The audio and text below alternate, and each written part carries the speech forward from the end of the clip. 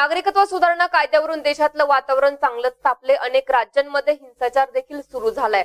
रस्त्यावर जाळपोळ आणि दगडफेक सुरू झाले. विद्यार्थ्यांपासून ते बॉलिवूड पर्यंत सगळेच जण या मुद्द्यावर आपली प्रतिक्रिया नोंदवत आहेत गावच्या कट्ट्यापासून ते थेट आंतरराष्ट्रीय पातळीपर्यंत केवळ सीएए आणि एनआरसी ची चर्चा होताना दिसतीये. पाहुयात काय आहे हे नागरिकत्व सुधारणा बिल.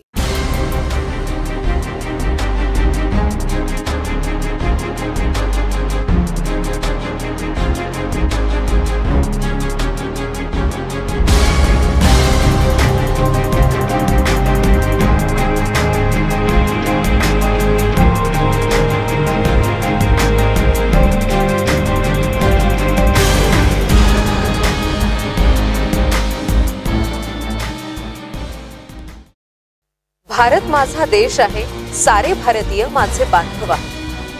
ही प्रतिज्ञा आपण शालेय जीवनापासून घेत आलो. पण आजच्या परिस्थितीत पाहता सारे भारतीय माझे बांधव आहेत का?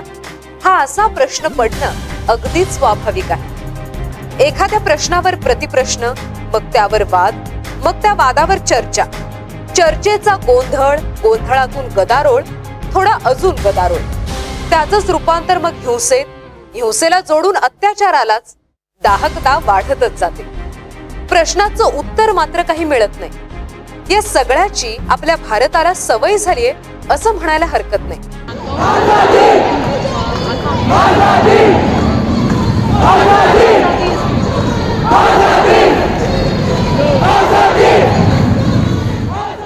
पण ज्या विधेयकावरून म्हणजे आता कायद्यावरून हा सगळा राडा सुरू झालाय तो प्रश्न नेमका आहे तरी काय? हे किती जणांना माहितीये मग तेच जाणून घेऊया नागरिकत्व सुधारणा विधेयक. पाकिस्तान बांगलादेश अफगाणिस्तान इथल्या हिंदू शीख जैन बौद्ध पारशी ख्रिश्चन या अल्पसंख्याकांना भारतात नागरिकत्व मिळण्यासाठीचं विधेयक. नागरिकत्व दुरुस्ती कायद्याअंतर्गत बांगलादेश अफगाणिस्तान आणि पाकिस्तानातील सहा धार्मिक अल्पसंख्याकांना भारताचं नागरिकत्व देण्याचा प्रस्ताव आहे. सद्यस्थितीत भारताचं नागरिकत्व मिळवण्यासाठी कुठल्याही व्यक्तीला भारतात किमान अकरा वर्ष राहणं आवश्यक असतं.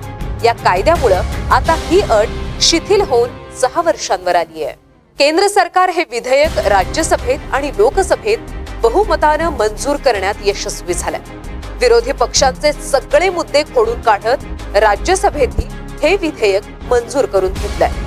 लोकसभेत आणि राज्यसभेत खिंड यशस्वीरित्या लढवल्यावर या विधेयकाचं कायद्यात रूपांतर झालं. देशातल्या अनेक राज्यात संघर्षाचं लोर उठलं ज्याची सुरुवात ईशान्य भारतापासून झाली.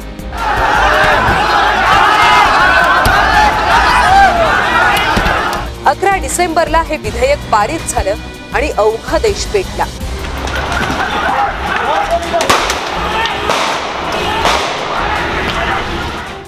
नागरिकत्व सुधारणा विधेयक बोलण्यानं अगदी उभ्या देशात धुमाकूळ घातला पश्चिम बंगाल, दिल्ली, बिहार, उत्तर प्रदेश, राजस्थान, मध्य प्रदेश या राज्यांमध्ये सारे विरोधी पक्ष एकत्र येऊन रस्त्यावरती उतरून मोर्चा काढला.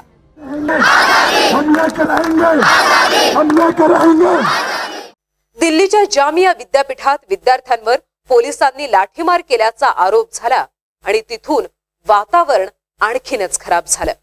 देशभरातल्या विद्यापीठांमधले विद्यार्थी रस्त्यावर उतरले. बॉलिवूडकरही या लढाईत सक्रिय झाले. अनुराग कश्यप जावेद अख्तर यांच्यासह रेणुका शहाणेही हिरिरीनं विद्यार्थ्यांच्या पाठीशी उभे राहिले. नेहमीप्रमाणे कमल हसन हे सक्रिय झाले. अर्थात या दंगलीत काही असामाजिक तत्व घुसल्याचा आरोप सरकारकडून झाला. अटक केलेल्यांमध्ये कुणी विद्यार्थी नसल्याचंही सांगण्यात आलं पण तोपर्यंत उशीर झाला. सारा देश आता सीएच्या कचाट्यात सापडलाय. यातून निर्माण होणारे प्रश्नही अनेक आहेत. सार्वजनिक मालमत्तेची जी नासधूस झाली त्याची जबाबदारी कोणाची? हिंदू मुस्लिमांमध्ये असलेल्या सामाजिक सलोख्याला धक्का लागला तर त्याची जबाबदारी कोणाची?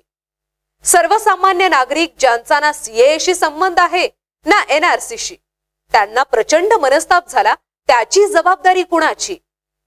आंतरराष्ट्रीय पातळीवर देशाची जी अब्रू गेली त्याची जबाबदारी कोणाची? या आणि यासारख्या अनेक प्रश्नांची उत्तरं मोदी आणि शहांबरोबरच सोनिया ममता मायावती आणि बॉलिवूडकरांनी दिलीच पाहिजेत कुणाचे हिंदुत्वाचे तर कुणाचे धर्मनिरपेक्षतेचे बुरखे परिस्थितीने टराटरा फाडले. निदान आता देशातील सामाजिक धार्मिक आणि आर्थिक वीड उसू नये यासाठी सर्वांनी एकत्र येऊन काम केलं पाहिजे. एवढीच सर्वसामान्यांची अपेक्षा. Kalyani कोठारीसह bureau report M K Marathi.